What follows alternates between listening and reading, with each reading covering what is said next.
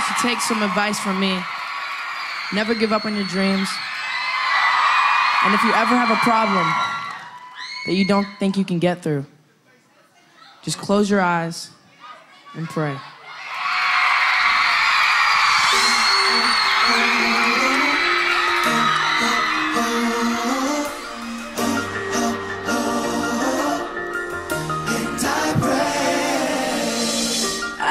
Just can't sleep tonight. Knowing that things ain't right.